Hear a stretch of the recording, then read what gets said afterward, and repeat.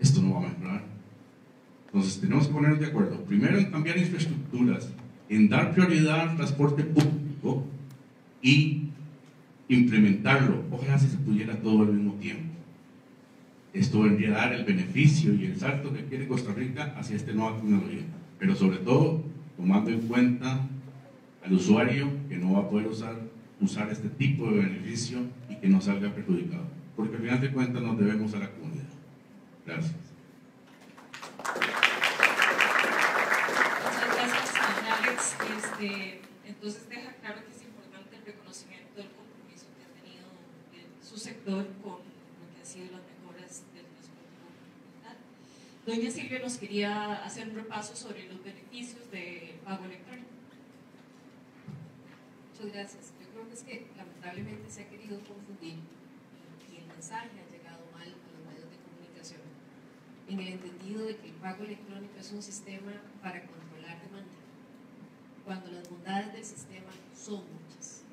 En realidad, nosotros nos hemos querido sujetar, como lo dijo Don Alex, con la implementación de barras electrónicas a nuestros propios controles, porque son controles de la empresa, controles necesarios para la operación del servicio. Y más allá que un control de demanda, que hoy incluso esos datos se los suministramos mensualmente la autoridad reguladora de los servicios públicos, este es un sistema que tiene muchísimas otras bondades, lo mencionaba don Carlos de la Gata. Una de, de, las mayores ventajas es que es un beneficio país. ¿Por qué? Porque vamos a reducir los costos de fabricación de monedas y de billetes. Vamos a reducir los costos de la logística asociados al abastecimiento de, esos, eh, de ese efectivo en la economía nacional. Entonces, más bien, yo también quisiera lanzarle el reto al sistema bancario nacional. Si es en este momento tan alto el costo para la distribución eh, de esta moneda dentro del sistema y la economía del país, ¿por qué no también aportamos un porcentaje para que el proceso se pueda implementar y minimizar los costos que esto pueda representar para los operadores o para los usuarios?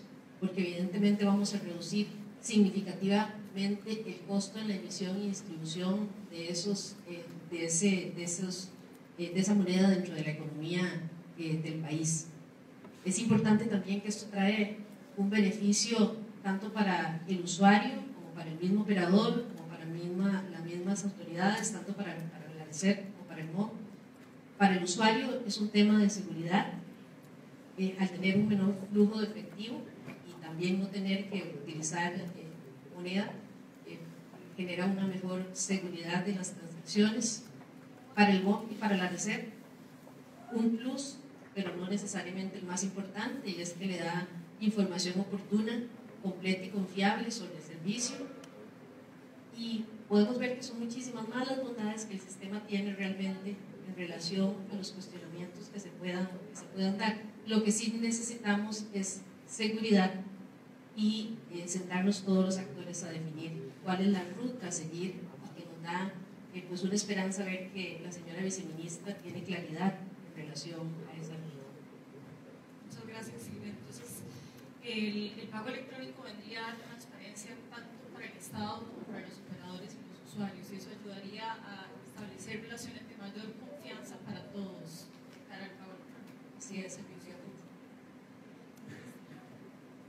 Sí, eh, bueno, hay que tomar en cuenta que el INCOFER pues, es una institución propiamente y que este, también apegada a todas las normativas que se le solicitan pues, a los eh, privados.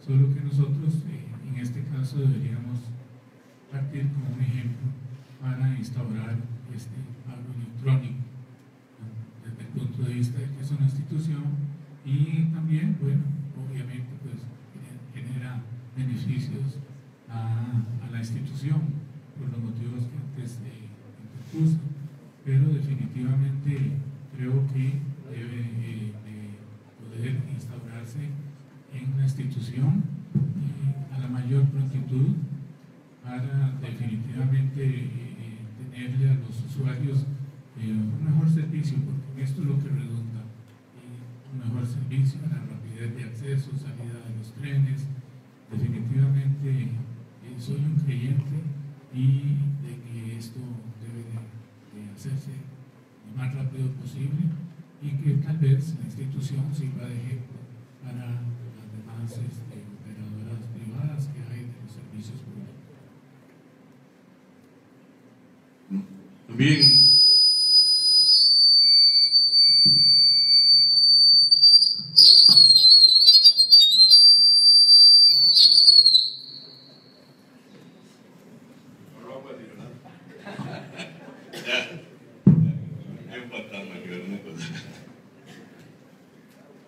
Em, los operadores necesitamos seguridad, como dice doña Silvia. Pero esto no quiere decir que si no se da, no vamos a hacer. Nosotros no podemos darle más largas a esto. Es una necesidad real de país. Pero vuelvo a repetir, donde todos estemos seguros, tanto legalmente como institucionalmente. Porque si damos un paso en falso en esto, se viene atrás y otra vez, nadie va a culpar a quien tiene que culpar, sino a quien siempre se viene por lo general es los que nos dicen, ustedes no quieren hacer. Quiero dejar claro que nosotros queremos hacer, pero con la seguridad del caso. Bueno, muchas gracias eh, a los tres participantes por este primer panel. Queda claro el compromiso de las tres partes de empezar a aterrizar en los detalles de cómo ejecutar o empezar a definir en conjunto cómo ir aterrizando la implementación. Eso lo vamos a poder trabajar en las mesas eh, que van a seguir después de estos foros, pero es muy evidente el compromiso de ustedes tanto en inversión de algunas plataformas o de investigaciones y de reportes que en el pasado han hecho y pareciera que hay una alineación en este momento importante que puede empujar este primer ciclo de cara a lo que Lisa señala. Agradecemos la intervención. Este primer espacio es vital para conocer las posiciones de cada uno de ustedes. El proceso no va si no es entre todos. Entonces, muchas gracias por estar aquí. El compromiso con el proceso es evidente, no solo en las palabras, sino en la acción de acompañarnos hoy. Los invito entonces a, tomar asiento para dar seguir, eh, paso al segundo panel.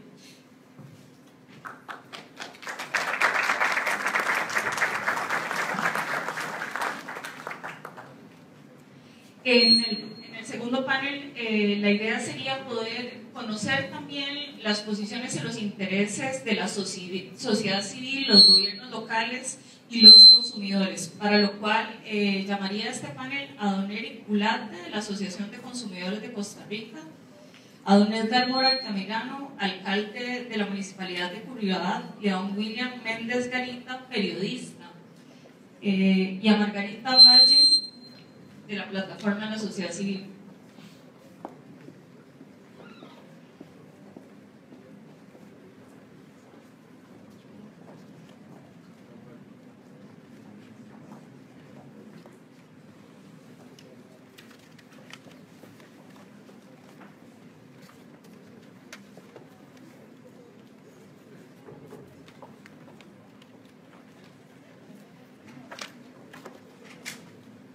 Eh, el espacio de preguntas del público lo vamos a tener después del segundo panel. Por acá está el compañero Raimi Padilla, que atrás va a recoger las preguntas, está levantando la mano, para después de este segundo panel podamos darle la oportunidad a los panelistas de contestar eh, algunas preguntas que quieran que reciban del público. Como en esta ocasión somos cuatro, vamos a intentar hacer un suficiente del tiempo. Eh, pidiéndoles que también nos señalen un poco eh, sus posturas o sus posiciones respecto a las preguntas iniciales. Las voy a repetir. El primero sería qué beneficios o implicaciones le ven ustedes al pago electrónico y eh, eso en una primera ronda y en una segunda ronda cómo pueden visualizar la ejecución desde su sector eh, y cómo podrían sumarse al proceso de, en la ejecución, o sea, qué podrían aportarnos. Con la compañera Margarita. Eh, muchas gracias. Eh, primero quiero agradecer a la viceministra Lisa por la invitación.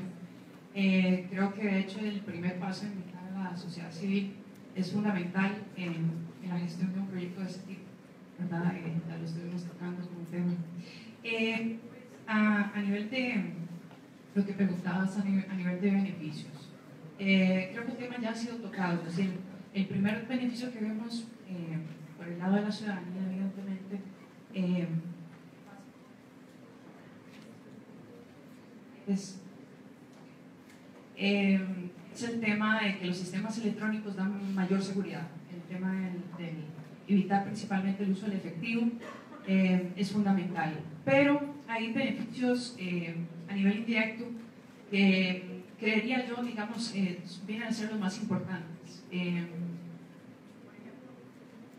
Lo que se ha tocado a nivel de generación de datos informáticos es fundamental porque no es un beneficio directo al ciudadano en primera instancia, pero es fundamental, por ejemplo, para el tema de la reestructuración de eh, la red de transporte, para que sea lo más eficiente posible. Eso es posible eh, efectivamente solo a partir de datos. ¿no? Eh, hay que averiguar dónde se da la mayor concentración de usuarios, en cuáles rutas, en cuáles horarios, etcétera, etcétera, y eso es factible a partir, por ejemplo, de, del caso de pago electrónico.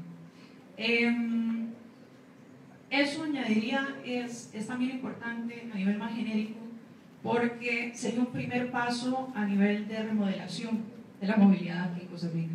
Entonces, eh, pensaría, o lo, lo, visualizo también como un incentivo en general para la ciudadanía eh, a utilizar el transporte público. Eh, ¿A qué me refiero? Eso, eso, por ejemplo, podría, ojalá, visualizo incrementar significativamente la, la cantidad de los usuarios. Eh, y eso evidentemente portaría una consecutiva reducción de uso del automóvil privado. Eso es, es parte de lo que nos presentó la viceministra al principio del foro. Entonces, eh, creo que es necesario eh, visualizar como objetivo real para Costa Rica eh, la construcción de una ciudadanía que tiene otra forma de movilizarse, eh, que sea masiva, que sea pública, que sea de alta calidad.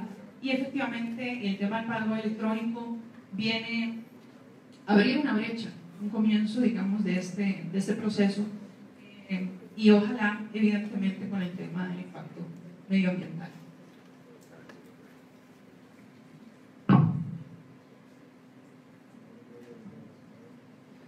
Eh, muy buenos días a todos. Muchas gracias por, la invitación a de Transporte.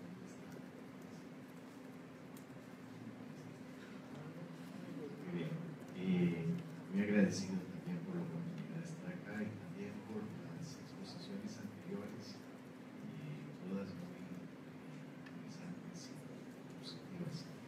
Yo quiero tomo nota de las dos preguntas y quiero empezar haciendo dos aclaraciones, o tal vez incluso dos argumentos contra la manera en que se ha implementado la medida del transporte público hasta ahora. Nada más voy a tomar como, un dato empírico el hecho de que todos eh, seguramente aquí hemos venido en carro. No sé si alguien viene en bus. Dos nada más. Claro Es decir, hay que ser experto para trabajar acá en. Eh, sí, dice que tengo que acercar el micrófono, me incomoda un poco, ¿no? no sí es cierto que no me oyen.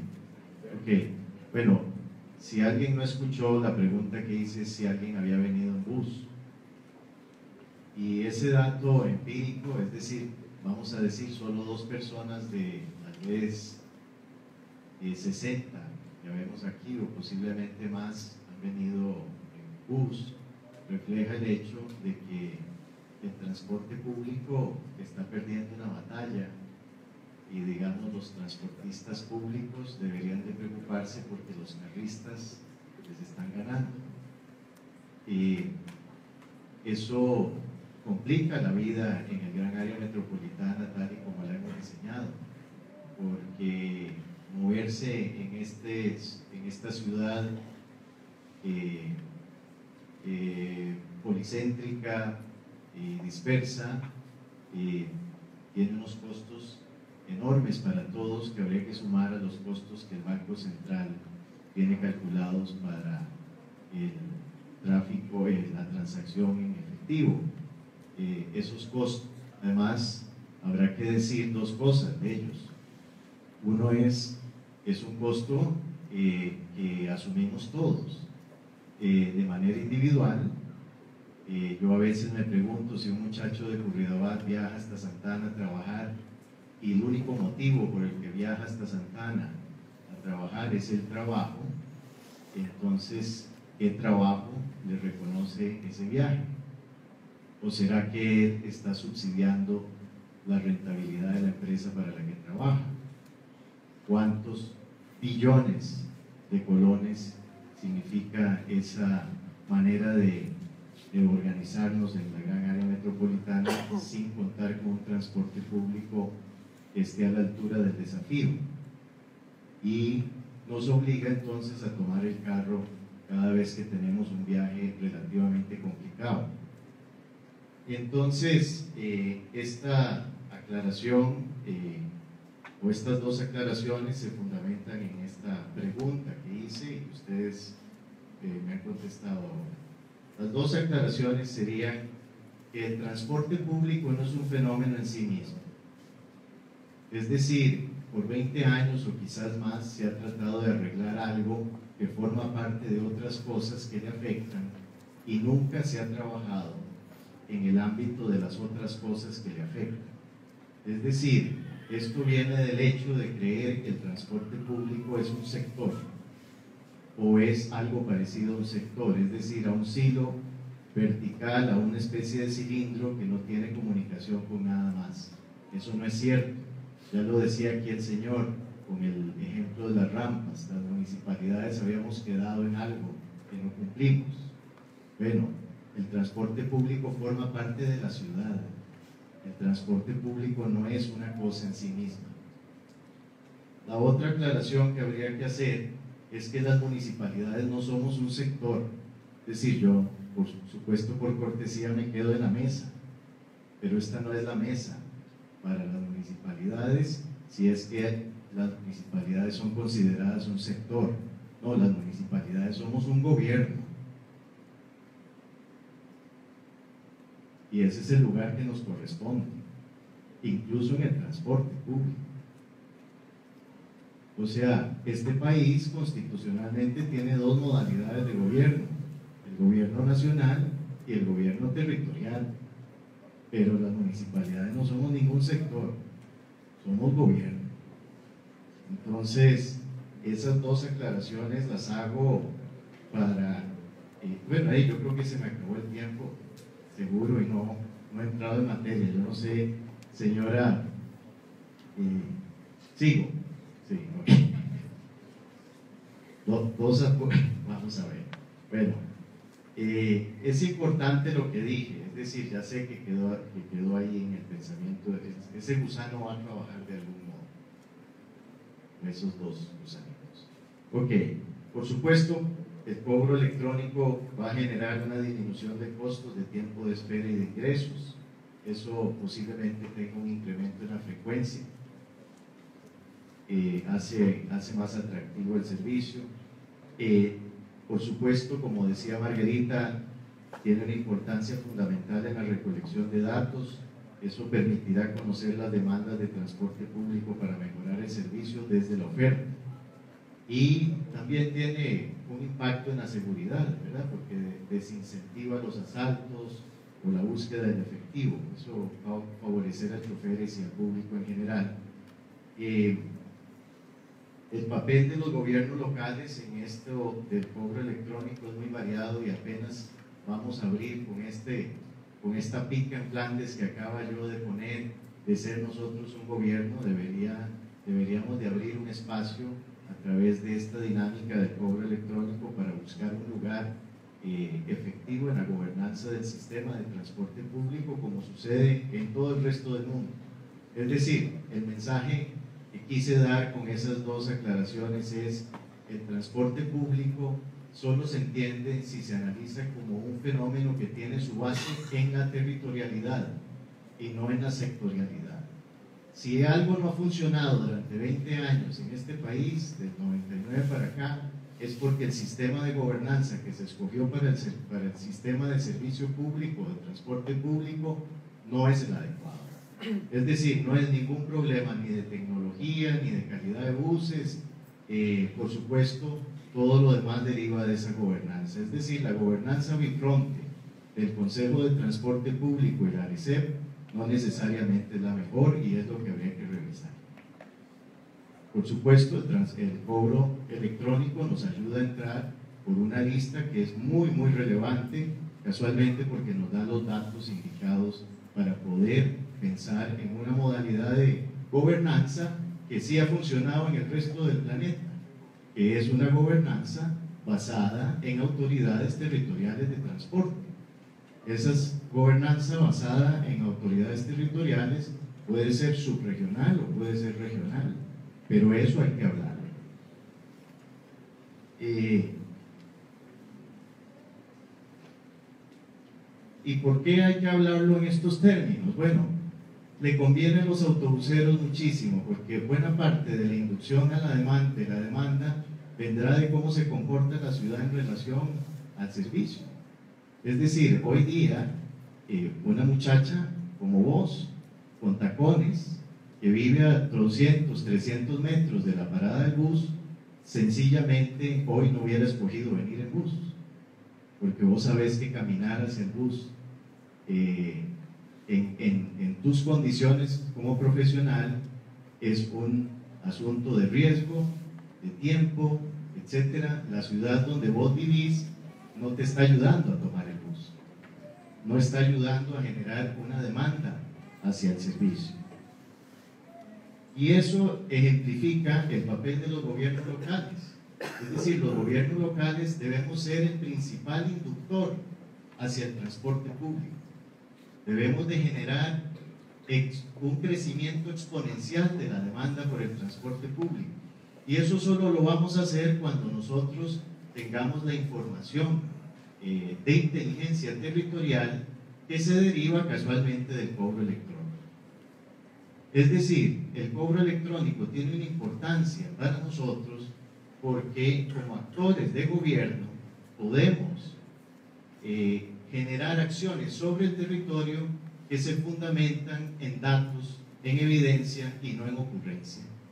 O ocurrencias legales como esa de todos hagan rampas. ¿Verdad? Y después de 20 años, ¿quién hizo la rampa? Nadie levanta la mano. Porque nadie la hizo, porque eso no viene de la inteligencia del territorio, viene de, una eh, fantasía legal.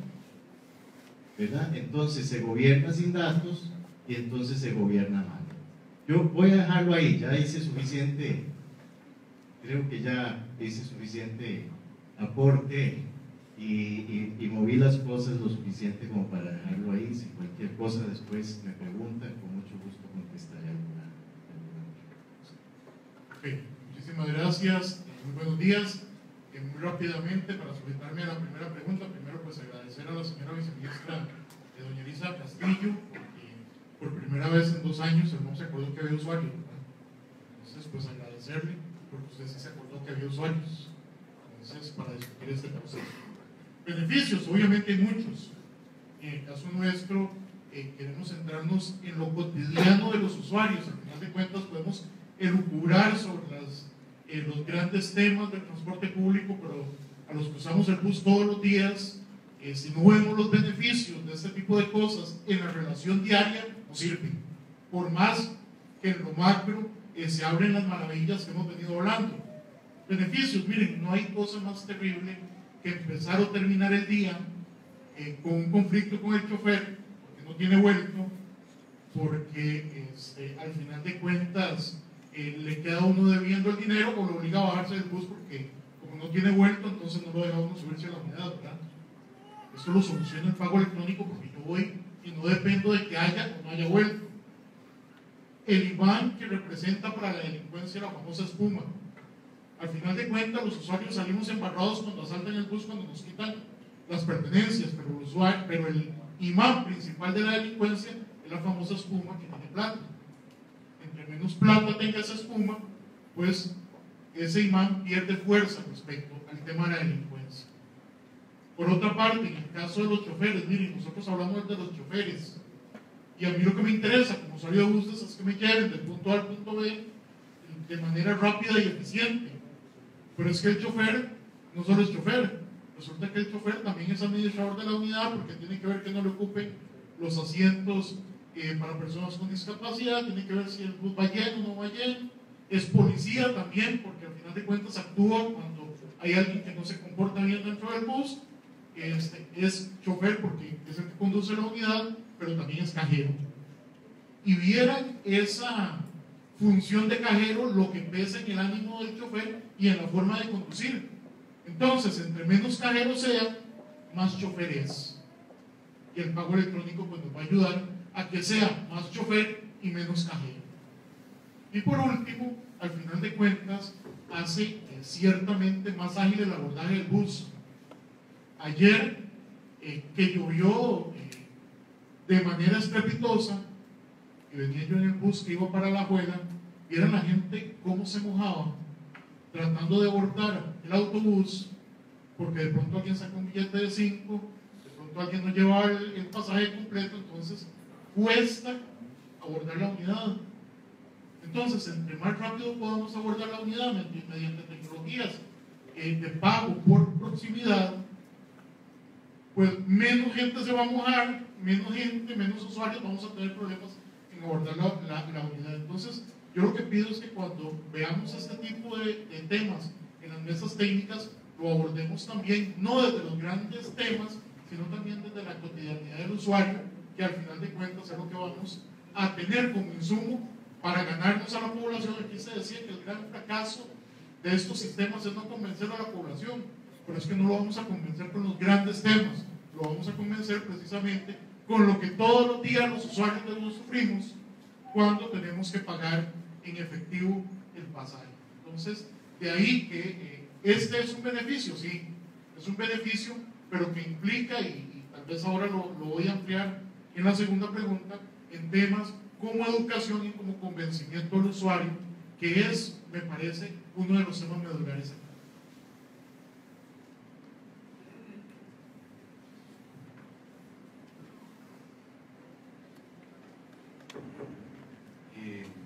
Bueno, mi nombre es William Méndez, para los que me conocen. he sido miembro de Transparencia Internacional Costa Rica, una de las más prestigiosas organizaciones internacionales de lucha contra la corrupción. Eh, coordinador, ex coordinador del Colegio de Abogados de la Comisión Observatorio Normativo sobre Transparencia y Corrupción. Y para responder a la periodista Retero, y tengo que decir que no puedo agregar nada más que felicitaciones a Don Edgar por la aclaración que hizo. Eh, tengo soy ciudadano que vive en ese cantón, en el este de San José, y el papel tan importante de las municipalidades, la importancia que puede tener la participación de los otros aparatos del Estado y de las instituciones del Estado. Y la aclaración que hace don Edgar, pues, es para retomar que el proceso de pago electrónico y que eventualmente hay un debate también sobre securización tendrá que pasar por el tamiz de decisiones importantísimas tienen que ser a y no lo podemos obviar. Y el caso de las municipalidades, el caso de Huerta y cualquier otra municipalidad, pues es fundamental. Me paso el tema de.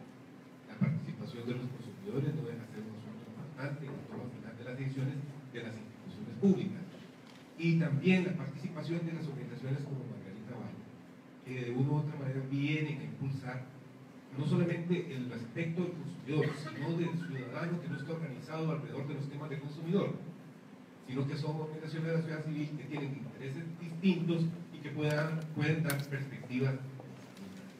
Por eso es la importancia de que una persona neutra en ciertos temas, como periodista, y les voy a decir por qué viene un periodista a hablar de eso. Es que si el periodista no viene a hablar de corrupción, entonces estoy perdiendo el tiempo. Y una de las cosas que he aprendido a lo largo de los años, cuando hablo de corrupción, es que muy pocas veces encontramos cómo algo tan importante como pago electrónico es un instrumento adecuado para luchar contra la corrupción. Y preparando la exposición para acá, eh, no voy a repetir lo que ya inteligentemente han dicho mis, las personas que me han antecedido en la palabra. Resulta que me encontré lo que llamamos en teoría del consumidor, trazabilidad. Y resulta que ese concepto aplicado al modelo de pago electrónico es eh, un principio que tenemos que tener en cuenta a la hora de su implementación.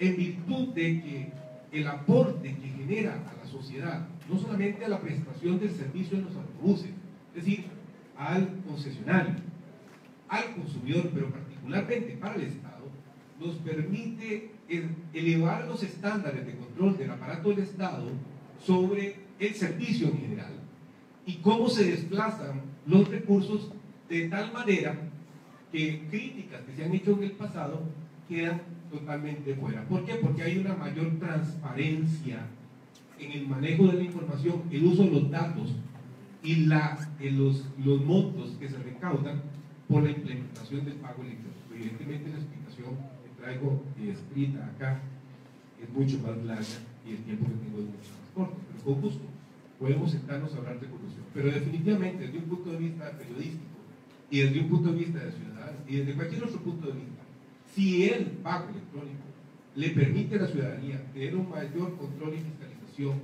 sobre el desplazamiento de los recursos, el pago de impuestos eh, y la transparencia que tiene que estar conexa con la operación total del servicio, entonces ya estamos haciendo algo positivo por el país.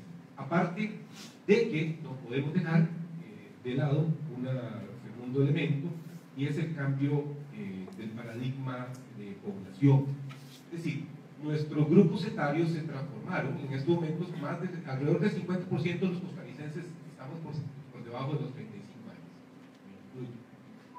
años. Y eso hace entonces que haya un cambio importante en los instrumentos que está utilizando la gente ahora para funcionar. Entonces, si eso se modificó, no podemos continuar haciendo las cosas que estamos haciendo eh, y queremos cambiar mediante los mecanismos anteriores, sino que tenemos que adaptarlos a las nuevas, a ese cambio de paradigma del usuario costarricense que es menor a los Gracias. Eh, sin duda alguna hay muchísimo por discutir y que profundizar, lo, lo haremos en las, en las, mesas de trabajo, pero tal vez un poco desde el usuario, eh, cuáles pueden ser los aportes en esa implementación. Dado nos dejaba claro un poco como cuál debe ser la posición en esta construcción de los gobiernos locales o desde dónde. Pero sí sería importante aprovechar eh, este espacio para que ustedes nos dejen claro cómo podrían aportar. Muchísimas gracias. Tal vez algunas reflexiones muy básicas. La implementación desde nuestro punto de vista tiene que ser mediante un sistema abierto. No podemos utilizar diferentes mecanismos de pago dependiendo de la ruta, dependiendo del sector el mismo mecanismo debe servirme a mí aquí para viajar en San José, en Guanacaste, en Punta Arenas, etc. O sea, no podemos andar eh, cambiando de sistema eh, dependiendo de la región o de la ruta. En este sentido, recordemos que ya tenemos 7.600.000 tarjetas de crédito y débito en el mercado, según el último informe del Ministerio de Economía, Industria y Comercio. Eh, tenemos un 65% de la población bancarizada, según el último informe FINDEX del Banco Mundial y en este sentido solo Brasil nos supera con el 68%, países como México tienen el 39%, Argentina 50% de población bancarizada y aquí vamos a seguir creciendo, en el tanto pues el Banco Central ha hecho un esfuerzo interesante eh, aplicando el sistema eh, de eh, cuenta simplificada para poder abrir cuentas en los bancos de una manera muchísimo más sencilla. Entonces creemos que usemos lo que ya tenemos, no inventemos más allá de lo que ya tenemos. En realidad, pues usemos la misma tarjeta con la que yo pago en el supermercado, con la que yo puedo pagar en el taxi, usémosla también en el autobús. Tomando en cuenta que no podemos obligar al, consumidor a pagar en efectivo, eh, perdón, con tarjeta, eh, independientemente del mecanismo que sea de un día para otro. Eh, los billetes y monedas son un medio legal de liberación de obligaciones dinerarias y en ese sentido este, impedir el uso del pago en efectivo en el autobús sería absolutamente ilegal. En más de 20 años que tengo yo de estar en, en este tema de defensa de derechos del consumidor, nunca he visto un solo comercio que diga no acepto efectivo. He visto algunos que dicen que no aceptan tarjeta. He visto muchos que discriminan en el uso de tarjeta y efectivo, lo cual es ilegal. pero todavía no veo ninguno que diga no centro efectivo, y es precisamente porque hay este, una obligación legal al respecto. Eh, tenemos grandes retos, efectivamente, el tema del desarrollo de la política pública. Este, en Costa Rica el desarrollo de la política pública cambia desgraciadamente respecto del jerarca que esté, y desgraciadamente los jerarcas pues, también tienen eh, una base muy poco sólida de permanencia en el tiempo, y eso eh, es una limitante a, este tema. Aparte que, miren, necesitamos un sistema que sirva todos los días. O sea, no es eh, independientemente del mecanismo de pago, yo voy a jugármela que un día sirva y el siguiente no. Y aquí hay que prestar atención a elementos tan, eh, tan difíciles de valorar como el hecho de que en Costa Rica tenemos la misma calidad de Internet que Afganistán, ¿verdad? Entonces, eh, mientras no tengamos, por ejemplo, un servicio de Internet de calidad, eh, este sistema puede estar sujeto a los vaivenes de esta situación. Aportes eh, consumidores de Costa Rica están a total disposición de participar técnicamente de este proceso. Hemos participado técnicamente de muchos otros, tanto así que el Ministerio de Economía, Industria y Comercio nos llama cada vez que va a construir un reglamento técnico. Participamos en el Instituto de Normas Técnicas de Costa Rica de la creación de normas técnicas en una gran cantidad de mercados. Tenemos un programa de radio que tenemos, ponemos a disposición del Ministerio eh, de Obras Públicas y Transportes para poder desarrollar esa labor de educación tan necesaria al usuario. Eh, ponemos a disposición también hasta el cabildo político. Al final de cuentas, el lunes tenemos una reunión con la gente de la SUTER y vamos a hablar de este tema y de la necesidad de que se fijen metas muchísimo más duras en cuanto a acceso a Internet y a calidad de Internet, que ya de todos modos en Costa Rica es caro para la calidad que recibimos. Bueno, todo eso lo ponemos a disposición precisamente de este proceso para que podamos llegar a algo tan necesario como es el pago electrónico en el menor plazo posible. ¿Aló? Sí, yo, yo quiero reiterar algo que, tal vez justificarlo mejor. Eh, a nosotros eh, en las municipalidades nos parece que es necesario cambiar el enfoque de gobernabilidad en el tema del transporte público de la escala nacional a una escala subregional. Eh, generar, eh, eh, pensar en la generación o la creación o la conformación a través de contratos entre municipalidades y contratos intermunicipales con el CTP y la RECEP eh, de autoridades de transporte subregional que puedan entonces tener un mayor impacto en los aspectos de, del ambiente urbano. Y esto es importante mencionar por qué el ambiente urbano bueno, porque el ambiente urbano es lo que más va a incidir en la demanda. Es decir, eh, ningún autobusero podría comprobar que cambiando la flota ha aumentado eh, el pasaje. Eso no es el incide en que dejemos el carro en la casa. Es decir, hay que reconocer que el ambiente urbano, el entorno urbano que hemos creado eh, y que administramos las municipalidades y no nadie más, eh, es un inductor en este momento del uso del carro.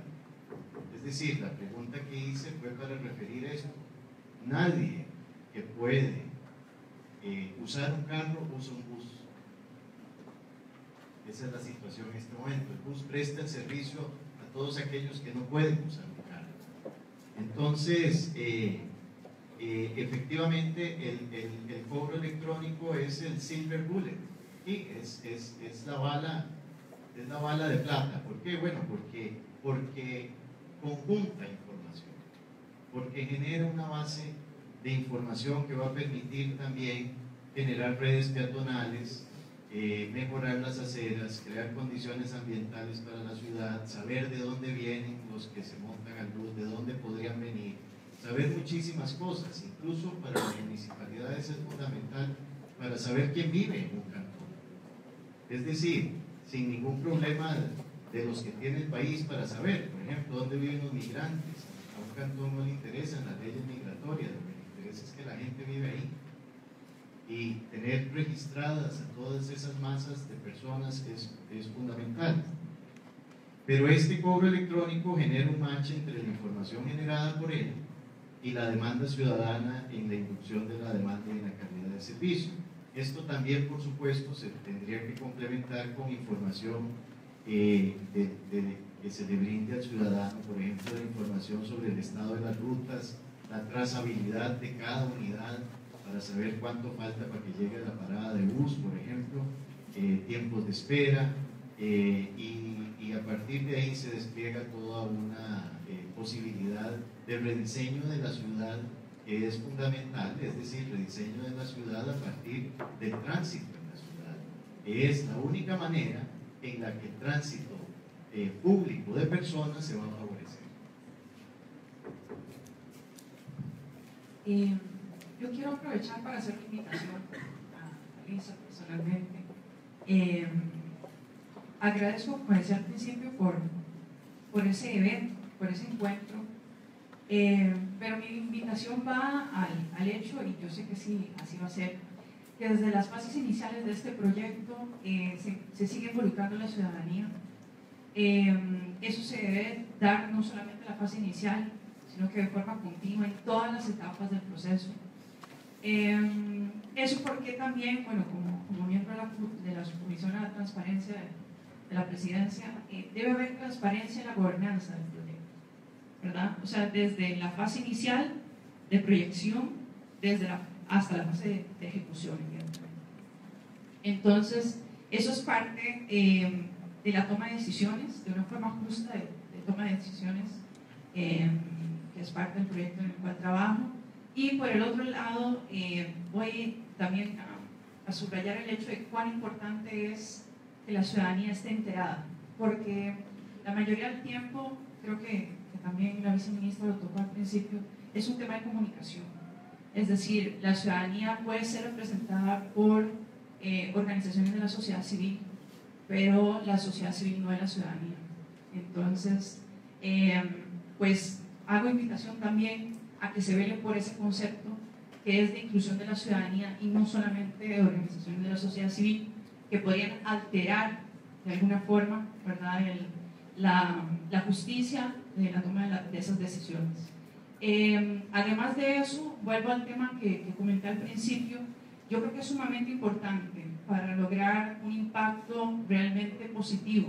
Justamente como decía don Edgar, quien tiene vehículo no va a aceptar, porque no es parte de nuestra cultura aceptar estar bajo la lluvia esperando que se abra la puerta del bus, no es parte de nuestra cultura la espera, no es parte de nuestra cultura el compartir un espacio tan, tan angosto, ¿verdad?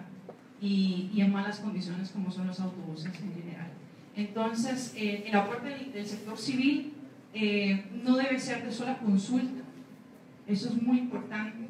El sector civil, que de recuerdo somos todos nosotros cuando nos quitamos, ¿verdad? Saco y corbata en el caso de hombres y tacones en el caso de mujeres, eh, es que somos nudo de la cuestión en sí.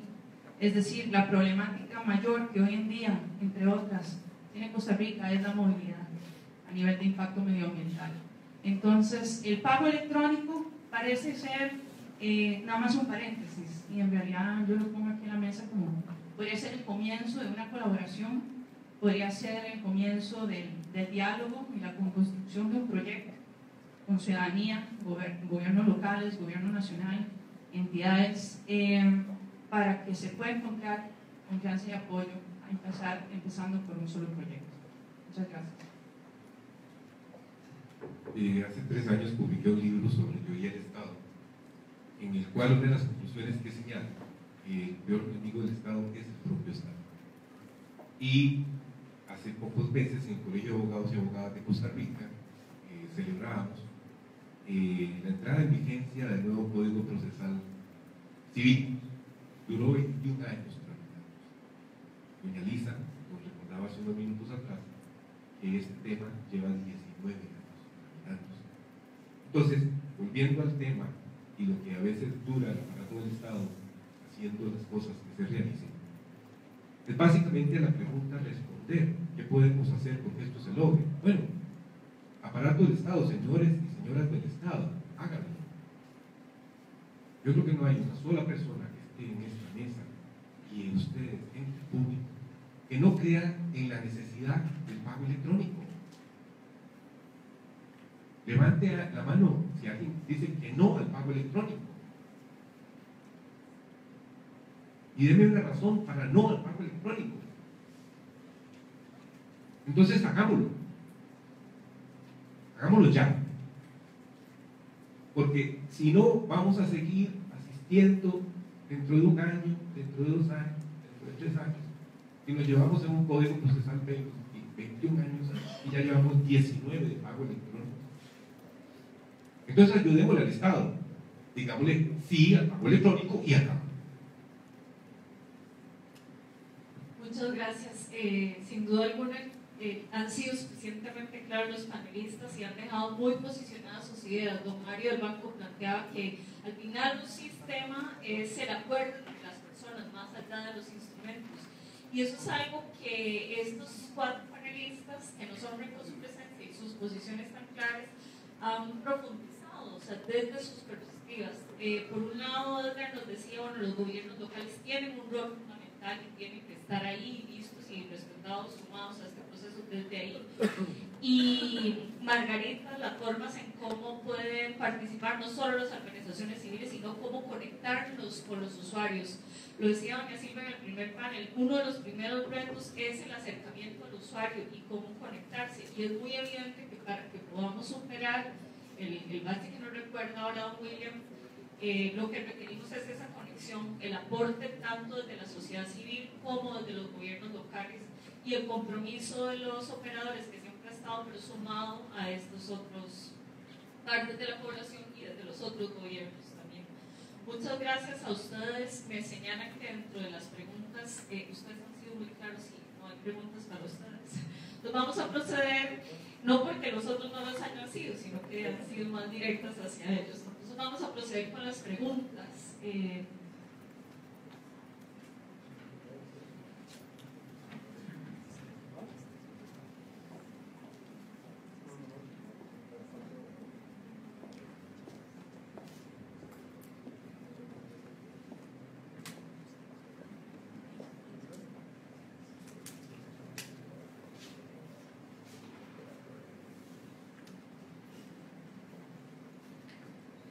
Eh, me indican los compañeros que hay algunas preguntas generales que no están direccionadas, entonces las voy a leer y si alguien considera y quiere sumar a la respuesta, bienvenido.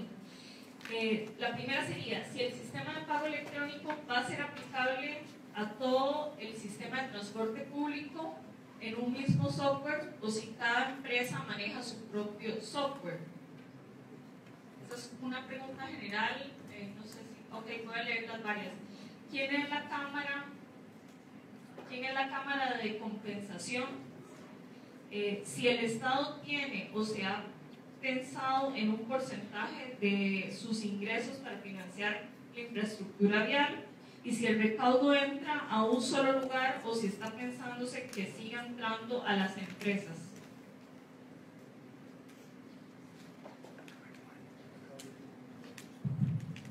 Yo creo que voy a asumir el micrófono, ya que la, respuesta es la pregunta es impersonal, para explicar cuál es la tramitología o cuál es el proceso de estos foros.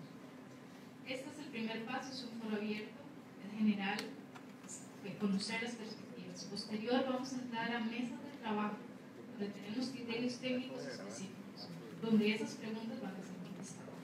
¿Por qué? Porque necesitamos la participación de ese expertise técnico para hacerlo. Esa es la línea base el mapeo de intereses que nos permite sistematizar la información para que lleguemos a las mesas, no a vernos y simplemente decir ahora, sino que es el, la sustancia, es el verbo que necesitamos para realmente esclarecer las dudas y cuál va a ser la hoja de ruta para un corto, mediano y largo plazo. Todas estas preguntas generales que no tengan eh, dirección específica, quién las atiende, las llevaremos a las trabajo técnicas donde se esclarece. Entonces, si quieren retomar la pregunta, podemos, podemos volver a enviar el documento o el papelito para que sean referidas específicamente a la persona. Pero quede entendido que este no es un principio y un fin, esto tiene un procedimiento específico, vamos a foros abiertos, luego a mesas de trabajo, vamos a mesas de diálogo, Margarita, eso que hablaba es importantísimo. No solamente sociedad civil, por ejemplo, en temas de sectorización vamos a ir a los mismos territorios de los sectores para hablar con las comunidades, con las asociaciones de desarrollo, porque esos términos técnicos tienen que socializarse. Entonces, para que podamos entender el concepto de este proceso. Seguidamente las preguntas que tiene el representante del Banco Central. Arecer, disculpa.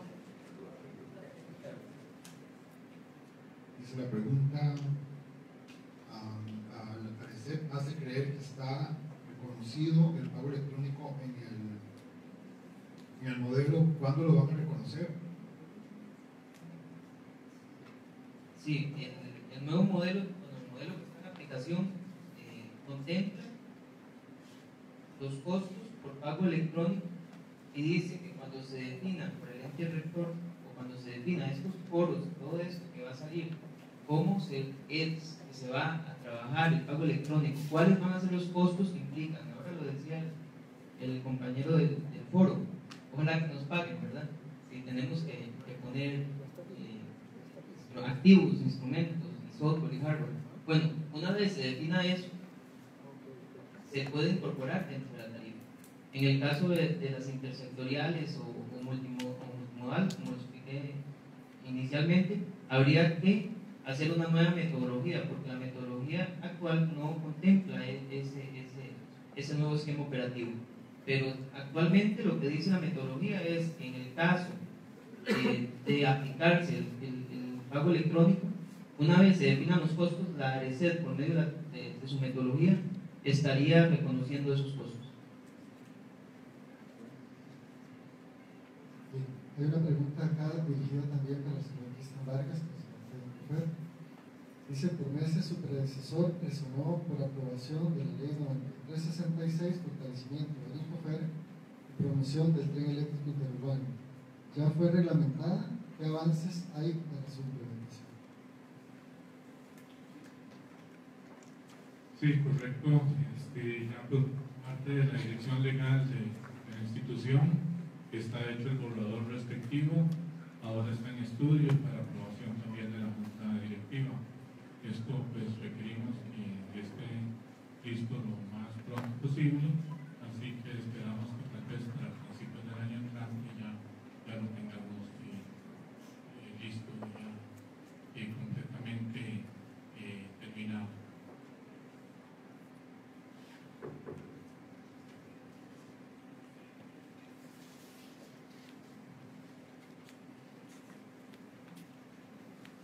Vamos a otra consulta ¿Cuánto dinero ha invertido el MOP en estudios realizados sobre la implementación del cobro electrónico desde que se contempló por primera vez? ¿Cuál ha sido la razón principal para que la fecha no se haya implementado? Actualmente el Ministerio como tal no ha pagado ningún estudio sobre cobro electrónico. Se han gestionado con fondos no reembolsables de los multilaterales otro tipo de estudios eh, vinculados a la sectorización. Eh, ese tema del pago electrónico, eh, el Ministerio como tal no realiza este tipo de estudios porque esto tiene vinculación con, como lo vimos hoy, lo explicó muy claramente el señor del Banco Central, don Carlos, tiene una vinculación con un montón de actores que no solo dependen del Ministerio. Entonces, esta, este ejercicio, forzosamente para lograr un resultado, eh, digamos, con algún grado de confiabilidad, tiene que realizarse de forma conjunta.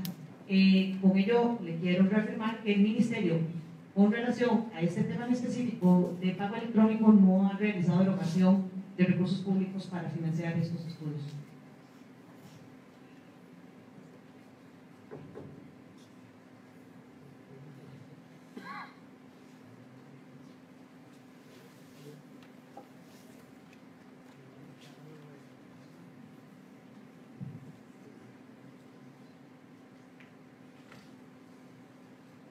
Consulta para la señora viceministra. ¿Qué hicieron con el convenio que la administración pasada dejó oficializado? ¿Qué hicieron con el informe rendido en el marco del, de ese primer convenio? ¿Qué plazo maneja para que esto se implemente?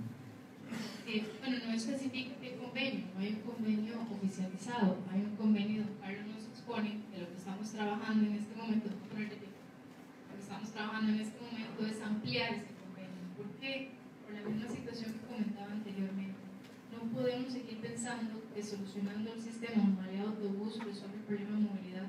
Tenemos que entender que nuestro problema de movilidad se soluciona con una red integrada de transporte.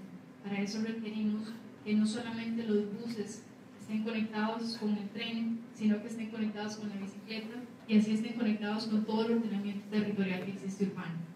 Eso es lo que estamos trabajando hoy en día. Estamos ampliando el convenio para poder incorporar el proyecto del tren eléctrico metropolitano, el proyecto del tren actual y podamos darle al usuario y a nosotros todos que estamos aquí las posibilidades de movernos más ágil, más eficiente y en menos tiempo en nuestros territorios.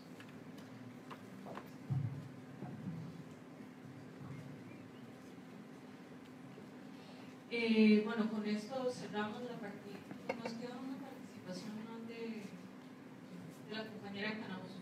Jerry Gómez.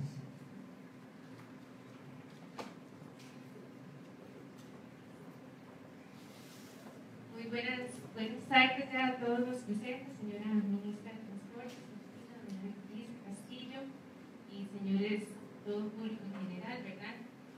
Este, a continuación, me permito leerles una nota que resume la posición oficial de Canabús con respecto a este foro. Le agradezco a los, a los encargados de habernos dado esta oportunidad y procedo a leerla. Señoras y señores asistentes al foro abierto de pago electrónico para la modernización del transporte público. Esta mañana se nos ha convocado para que participe nuestra Cámara en el foro que pretende explorar la importancia del pago electrónico para la modernización del transporte público. Extraña mucho a Canabús esta invitación, ya que el viernes recién pasado, como es de conocimiento público, realizamos un seminario internacional sobre este tema. Escuchamos a expertos internacionales y nacionales, así como funcionarios ministeriales y de organizaciones de la sociedad civil. Además, a proveedores y desarrolladores de tecnologías modernas que se han implementado en diversos países.